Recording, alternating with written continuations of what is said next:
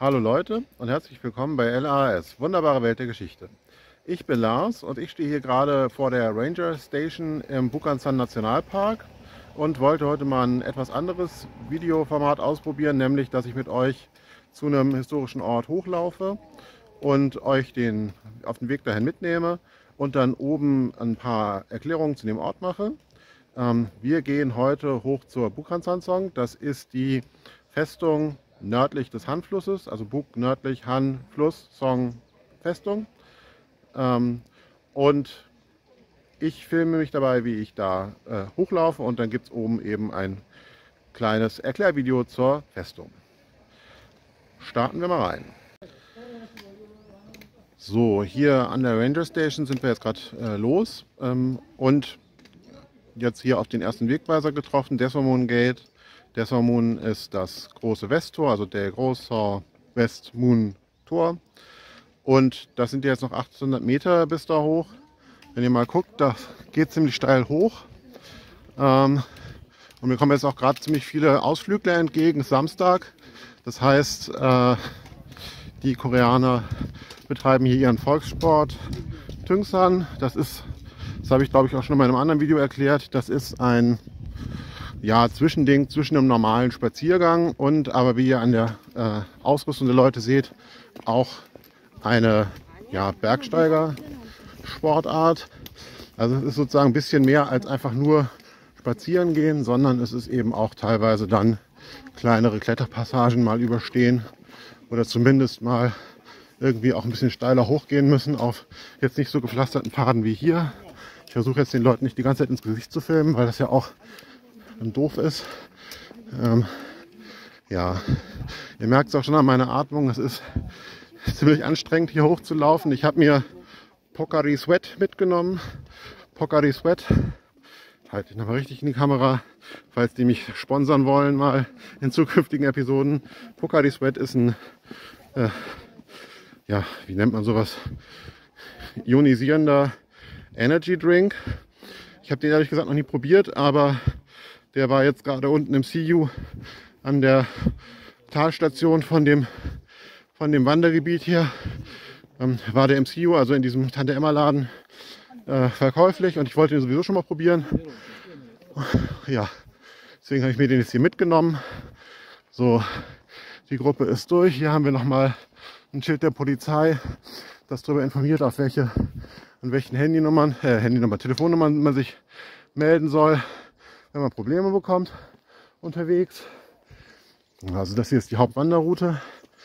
Da sollte nichts passieren, zumal mir hier die ganze Zeit noch Leute entgegenkommen. Äh, umknicken werde ich auf der Straße hier wohl nicht. Ja, genau. Genau, hier ist so eine Abzweigestation. Hier kann man dann mal auf, äh, auf Alternativpfade umsteigen, wenn man eben ein bisschen höheren Anspruch haben möchte. Hier steht auch extra, hier stehen extra Warnhinweise dran. Hier seht ihr auch ist eine Schranke, die geht ab einer bestimmten Uhrzeit geht die, geht die zu. Und dann ist da sozusagen das Betreten ab da auf eigene Gefahr oder eben komplett verboten je nachdem. Ich bin hier im Gebiet auch schon ein paar Mal auf so ein bisschen abseitige Wege gegangen, die aber alle legal waren. Da standen dann immer auch schon so Schilder wie äh, hier den Weg bitte nicht verlassen. Hier ist Wildschweingebiet. Ähm, Wildschweine in Südkorea gibt es relativ häufig. Und äh, wenn ihr ein bisschen in der Schule im Bio aufgepasst habt, wisst ihr, Pepperwoods ist ja ganz süß, aber wenn euch so ein Schwein in freier Wildbahn anfällt, dann ist Ende Gelände. Da habt ihr Knochenbrüche. Wenn ihr, wenn ihr ein Männchen trefft, dann haut er euch eventuell auch seine Stoßzähne in den Oberschenkel und dann habt ihr schön tiefe Fleischwunde mindestens. Also das ist mit den Tieren ist nicht zu spaßen. Deswegen bleiben wir hier auch die ganze Zeit schön auf der legalen Straße. die ist auch schön serpentinenmäßig hier hochgeht. Ähm, ist also eigentlich ganz schön. Man sieht hier schön auch immer den Progress, den man hat, wenn man hochläuft. Gleichzeitig sieht man die Leute, die einen missbilligend angucken, weil man so schlecht ausgerüstet ist. Also wie ihr seht, die Leute haben hier alle richtig schweres Gepäck dabei. Wanderstöcke, Augenschutz etc.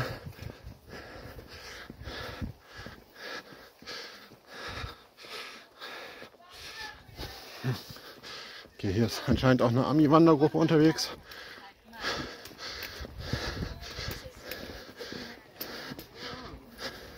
Okay, hier fahren erstaunlich viele Autos rum dafür, dass das eigentlich illegal ist.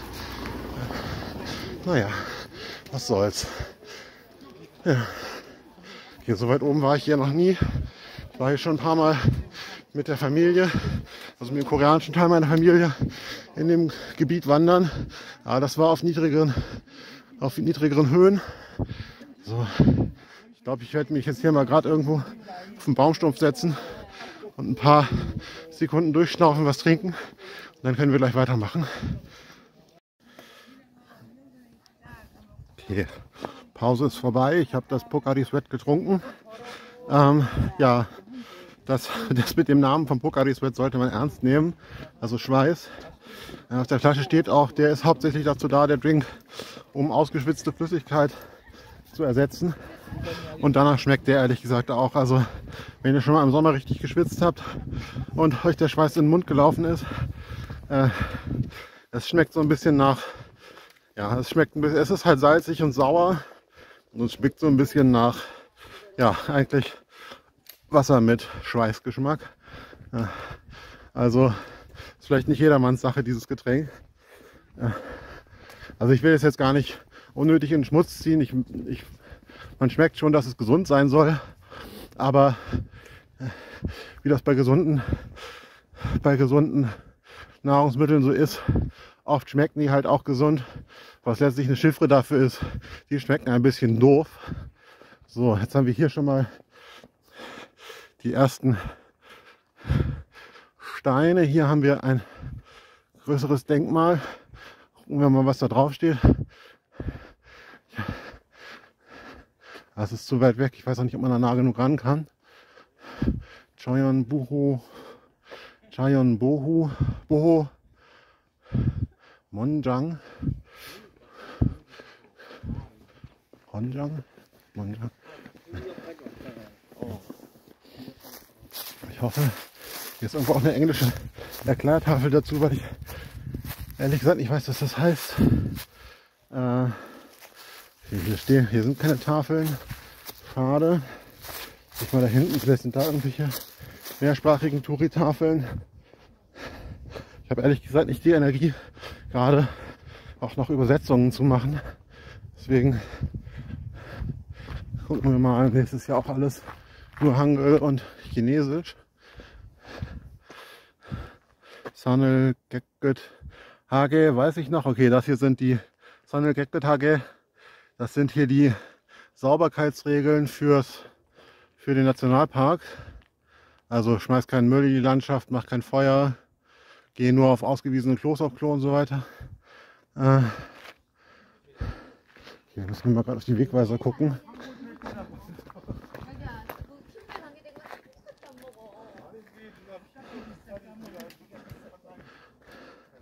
Okay, gucken wir mal hier. Wo sind wir jetzt hier? You are here, Deshormon. Okay, ich muss hier der Straße weiter folgen. Ich hätte jetzt auch ungern diese Abzweigung da genommen. Die sah ein bisschen dubios aus. Und ich meine, wir können mal gerade gucken. Ich habe hier meine New Balance an. Die sind jetzt nicht die schlechtesten zum Bergwandern. Aber ja, also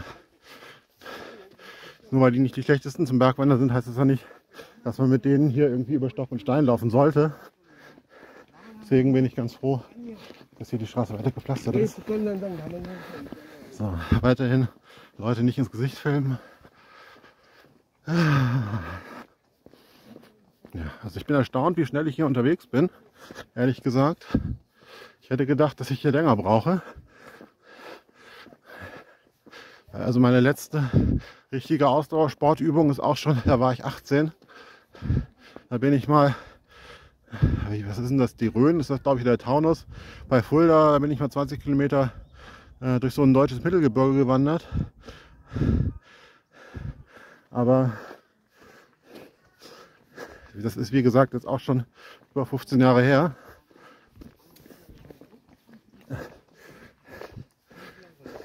So gesehen ist das jetzt auch nicht das Schlechteste, dass ich hier mal wieder ein bisschen sportliche Betätigung bekomme, die über, über das drei Runden um Blockjoggen hinausgeht. Wenn ihr mich in den Videos gesehen habt, so in der Halbtotalen, seht ihr auch, ich habe eigentlich Sport ein bisschen nötig. So gesehen ist das hier nicht nur eine Dienstleistung an euch, dass ich euch hier mit auf die Wanderung nehme, sondern auch eine Dienstleistung an mich, dass ich mich hier ein bisschen fit mache.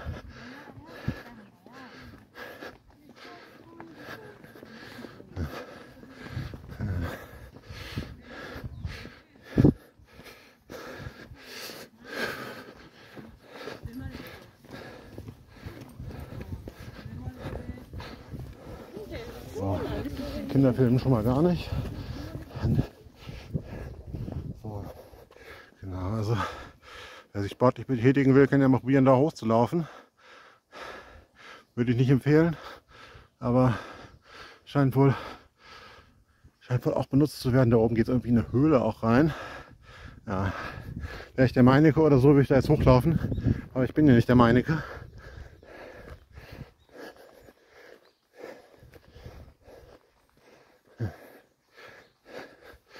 Tja.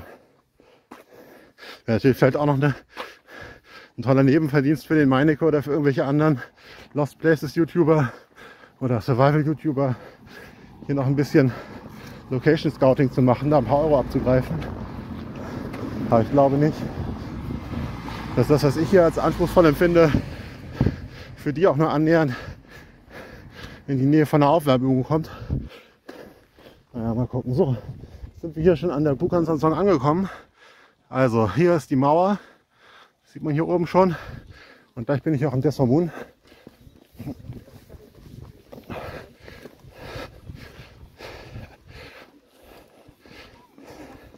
So. Okay. Hier können wir einmal ins Tal runter gucken.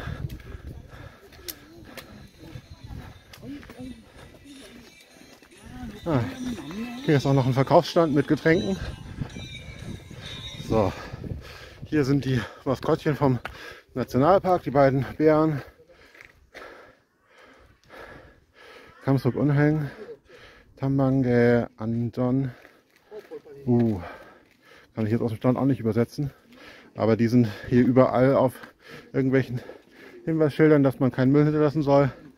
Also ja, genau. Und hier haben wir jetzt mache ich immer so eine richtig schöne Panoramafahrt. Hier haben wir jetzt das Dessomon. Das ist, wie gesagt, das große Westtor. Da können wir jetzt auch mal an die historische Hinweistafel rangehen, äh, wo das alles erklärt ist. Hier haben wir nochmal eine historische Aufnahme, als das hier alles noch nicht so gut bepflanzt war. Und hier unten ist die Texterklärung. Ja, genau. Da werde ich gleich, also das ist ja sehr, sehr knapp gemacht, die Beschreibung, da werde ich gleich äh, ein bisschen mehr über die Burg sprechen. Okay, ich mache jetzt noch mal eine Trink- und Sitzpause und dann äh, sehen wir uns gleich wieder. Okay, bevor es mit dem Video zur Burg losgeht, hier noch kurz einmal ein bisschen was für die ÖkologInnen, BiologInnen unter euch. Hier wird auch im Nationalpark auf so Tafeln über Foreign Invasive Plants, also Neozora, äh, Neozora, Neo, Neofauna, Neoflora, Neoflora aufgeklärt. Ähm, ja, gut, den Text kann ich jetzt auch so aus dem Stand nicht übersetzen. Äh, das erste Wort, Urinara e, Tra und Shingmul Jung Yaseng GSH. Ja, also es ist äh, aus dem Ausland werden Pflanzen in unser Land eingeschleppt. Den Rest kann ich jetzt nicht übersetzen, das ist zu lang. Ja. Okay, ich werde hier mal ein bisschen noch die Gruppen vorbeigehen lassen. Ich habe gerade schon jemanden gefragt, also man darf hier an der Treppe hoch auf die Burg. Da werde ich dann gleich da oben das Video machen. Jo. So Leute, ich bin am Desormun, also am großen Westtor der Bukansonsong angekommen. Ich stehe hier jetzt oben unter der äh, Holzüberbauung des äh, Tors ähm, auf der Stadtmauer oder auf der Burgmauer. Und ähm, ich werde hier jetzt ein paar Sachen zur Vorgeschichte und zur Geschichte dieser Burg sagen, ein bisschen was zu den technischen Details und zur Kunstgeschichte. Fangen wir mal mit der Kunstgeschichte an. Zu der kann ich am wenigsten sagen, weil ich kein Kunsthistoriker bin. Ähm, wenn ihr hier mal hinter mir in, die, ähm, Holz, in den Holzüberbau guckt, der ist hier von der Ästhetik her ähm, sehr nah dran an den Palästen in Seoul, also am Gyeongbokgung, Changdeokgung etc.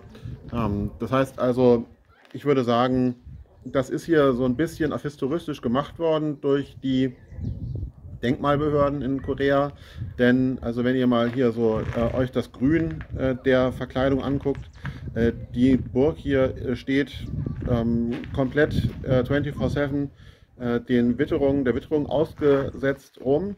Ich glaube nicht, dass das Grün sich äh, im Laufe der Jahrhunderte gehalten hat, denn äh, diese Burg ist 1711 fertiggestellt worden, womit wir bei der eigentlichen Geschichte der Burg sind.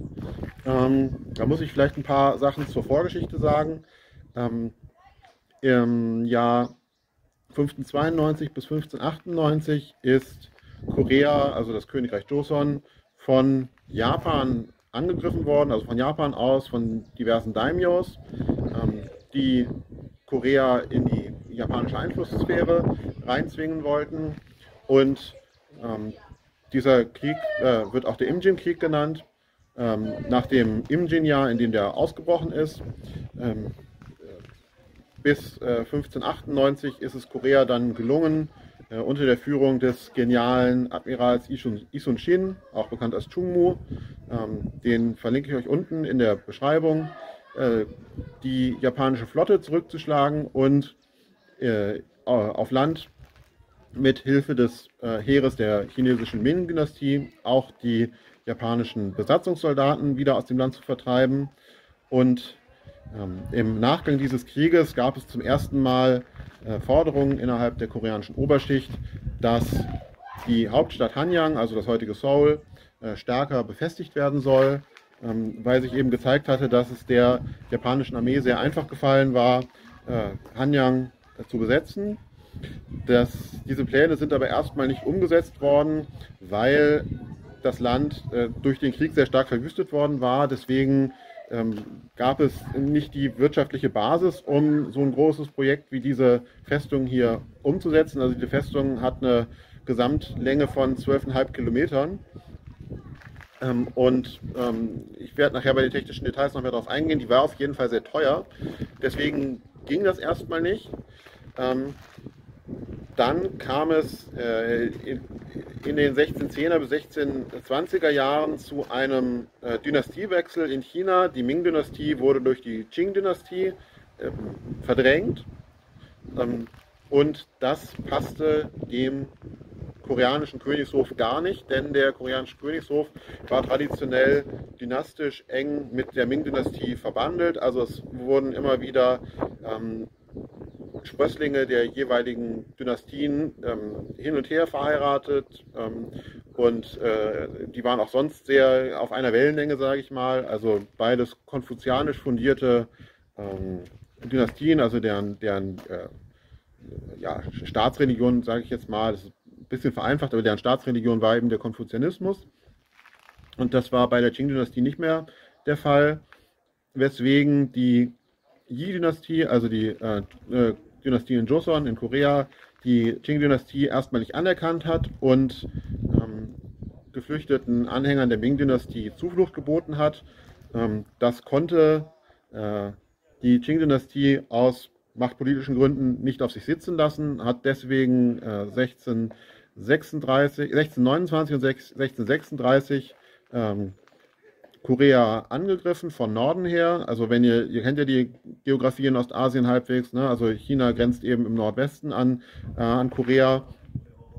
Und die, das, das Heer der Qing-Dynastie ist dann eben durch äh, Nordkorea, eben durch äh, Uiju, durch äh, Pyongyang durchmarschiert bis Seoul, hat Seoul besetzt und den koreanischen König gezwungen, die, den äh, Qing-Kaiser anzuerkennen. Ähm, woraufhin dann am weiterhin sehr Ming-treuen ähm, koreanischen Königshof ab 1659 ähm, die, äh, diese Forderungen, die es schon nach dem Imjin-Krieg gab, ähm, äh, Seoul stärker zu befestigen, neuen Auftrieb bekommen haben. Die Qing-Invasion hat wiederum dazu geführt, dass, hatte wiederum dazu geführt, dass Korea ähm, wirtschaftlich ähm, ja, geschwächt worden war, weswegen dann dieses Projekt auch erstmal nicht realisiert werden konnte. Ähm, dafür ähm, ging es dann, als es wirklich losging, sehr schnell. Äh, Im April 1711 ging es mit den Bauarbeiten hier an der Festung los und äh, im Oktober 1711, also nur sechs Monate später, waren die Hauptmauern dieser Festung hier schon fertiggestellt. Und damit sind wir bei den technischen Details der Festung. Ähm, ich werde hier jetzt ähm, gleich mal auf äh, Frontkamera umstellen und dann erzähle ich euch ein bisschen was zur, ja, zu den, zum, zum Zustand oder zur, zur, zur, Ausstattung dieser Festung. Wenn man hier rausguckt, guckt man sozusagen ins Innere der Burg, also nach Süden, Richtung Seoul oder ja, doch Richtung Seoul. Und wenn man hier rüber schwenkt, hier sieht man sozusagen die Außenseite eben dann mit Zinnen, mit Schießscharten. Ähm, die geht nach Norden, also Richtung China, Richtung Russland. Ähm, hatte ich ja eben erklärt, die Burg ist letztlich als Reaktion auf die Qing-Invasion von 1636 errichtet worden. Das heißt also, die ist in erster Linie dazu da, Seoul gegen Angriffe von Norden zu sichern. Ähm, das Desormun ist eins der sechs Großtore dieser Festung. Die sind auch alle erhalten worden, können alle touristisch, sind alle touristisch erschlossen. Ähm, das kann man von der Gesamtmauer, die eben wie gesagt äh, 12,5 Kilometer lang war, nicht behaupten. Also wenn ihr hier mal guckt, ähm, hinter, diesem, hinter dieser Touri-Infotafel ähm, rechts davon, also in diesem Falle östlich ähm, und bergab, also nach Nordosten, ähm, verlaufen noch Reste der Mauer. Das kann man jetzt äh, nur ganz schlecht äh, ist, äh, weiterverfolgen nach hinten. Also bei, bei der Baugruppe, Baumgruppe endet hier, glaube ich, schon wieder dieser Mauerabschnitt. Ähm, und die Mauer war eben, wie gesagt, mit diesen sechs äh, Großtoren äh, ausgestattet, die alle äh, erhalten sind. Dann gab es noch acht sogenannte Geheimtore. Die waren eben dazu da, in unübersichtlichem Gelände Ausfälle aus der Burg zu machen, um Angreifern äh, oder Belagerern von Norden her in, in, den Rücken fallen zu können, aus dem Gebirge heraus. Das sieht man hier auch hier schön. Das ist alles sehr stark bewaldet, sehr zerklüftet, äh, sehr unübersichtliches Terrain.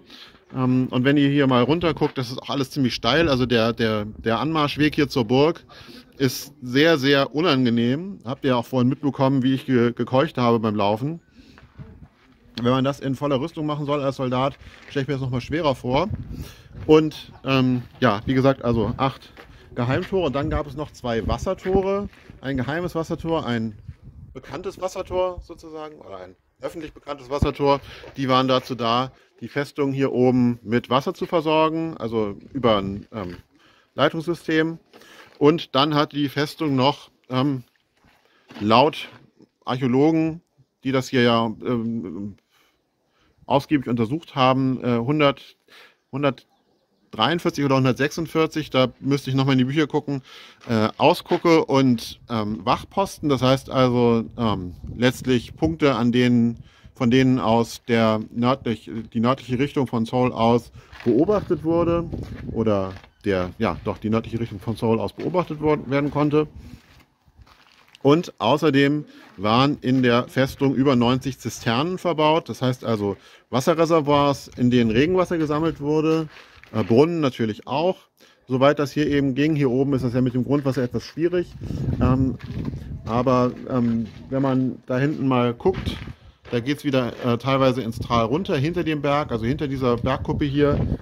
Ähm, dann hatte die Festung noch ähm, ein gutes Dutzend ähm, buddhistische Tempel und in der Festung war auch ein Königspalast untergebracht, in den der König im Falle eines Aufstands in der Hauptstadt äh, sich zurückziehen konnte oder eben im Falle, was ja eben auch so ein bisschen den Bau dieser Festung mit inspiriert hat, sage ich mal, im Falle einer japanischen Invasion, die ja wahrscheinlich von Süden und Osten gekommen wäre, äh, hätte er sich eben auch äh, nordwärts hinter diese Festung hier zurückziehen können. Das heißt, diese Festung hatte in gewisser Weise einen Schutz, eine Schutzwirkung in beide Richtungen, was bei koreanischen Festungen sehr oft der Fall ist. Also das sind selten Ringfestungen um eine Stadt herum, sondern ähm, Die Festungen sind oft als so eine Art Sperrregel gegen, äh, gegen Invasionen aus allen Himmelsrichtungen gedacht. So Leute, das war's für heute. Wenn ihr Interesse an solchen Ortsbegehungen wie heute habt, dann schreibt mir das gerne in die Kommentare. Dann gucke ich mal, ob ich das auch für andere Orte machen kann. Ähm, am liebsten äh, in Norddeutschland, weil das für mich am einfachsten erreichbar ist und auch äh, finanziell am ehesten machbar. Ähm, wenn ihr an koreanischen Orten Interesse habt, muss ich euch erstmal auf frühestens nächstes Jahr vertrösten, denn ähm, ich bin, wenn dieses Video hier erscheint, schon wieder in Deutschland ähm, und bin erst frühestens wieder 2024 in Korea. Ähm, aber da kann man ja bis dahin sich mal Gedanken machen, an was für Orte, Museen, ähm, Ausgrabungsstätten oder eben sowas wie hier, ähm, Festungsanlagen ich gehen könnte. Ähm, bis dahin schreibt mir sowas gerne in die Kommentare. Wenn euch das Video gefallen hat, lasst einen Daumen hoch da. Und wenn ihr in Zukunft auch weiterhin meine Videos nicht verpassen wollt, dann drückt auf Abonnieren. Alles hilft mir und meinem Kanal weiter. In diesem Sinne, bis dann.